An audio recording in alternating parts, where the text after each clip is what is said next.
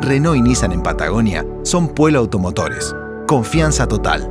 Diagonal Capraro, 1362 es gravísimo, es decir, realmente recurrimos a la Gendarmería Nacional para garantizar los derechos de los habitantes y ahora la propia Gendarmería es quien sufre estos ataques, lo que demuestra la gravedad de la situación.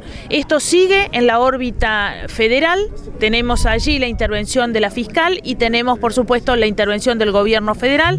La custodia del lugar sigue a cargo de Gendarmería, que tendrá que eh, rediseñar su presencia allí, pero es importantísimo que esté. Nos hemos comunicado a través de nuestros ministros con la familia Dates, que es la última damnificada de estos hechos y es donde el predio donde estaba colocado esta casilla. Estamos en permanente mm, comunicación, eh, es absolutamente grave porque además es un ataque a la institucionalidad de la nación. ¿Y con el gobierno nacional hubo comunicación? Sí, sí, va por los carriles habituales que tiene que ver con el Ministerio de Seguridad y Justicia y con los organismos pertinentes del Estado Nacional.